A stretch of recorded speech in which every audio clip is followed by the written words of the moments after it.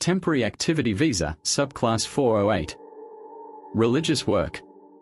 This visa lets you do full-time religious work for a religious institution in Australia. You and your family who apply for the visa with you can stay here for up to two years.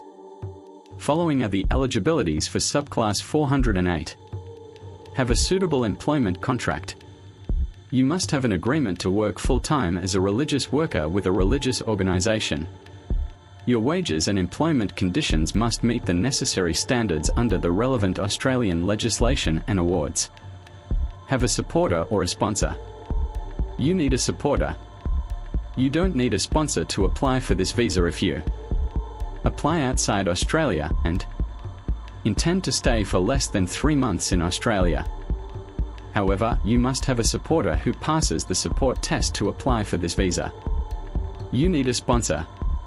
You need a sponsor who is a temporary activity sponsor to apply for this visa if you apply in Australia or apply outside Australia and intend to stay for more than three months in Australia. Have the right experience or qualifications for the work. You must have the appropriate experience and qualifications to do the religious work that is set out in your agreement. Be able to support yourself and any dependents. You must have access to enough money during your stay in Australia to support yourself and any dependent family members who travel to Australia with you. Meet the health requirement. You and any family members who apply for the visa with you must meet our health requirement. Meet the character requirement. You and family members aged 16 years and over who apply for the visa with you must meet our character requirement. We might also ask that other family members meet the requirement. Have adequate health insurance. You are personally liable for all your healthcare costs while you are in Australia. Medical insurance helps limit your financial liability. Be a genuine temporary entrant. You can't use our temporary visa program to maintain ongoing residency in Australia.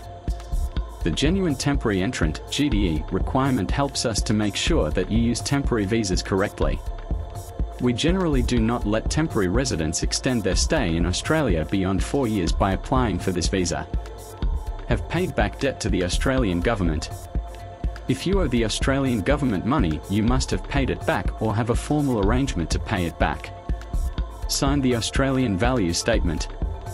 If you are 18 years of age or older, you must acknowledge the Australian Value Statement that confirms you will respect the Australian way of life and obey Australian laws when you apply for the visa. Declare you have not paid for visa sponsorship.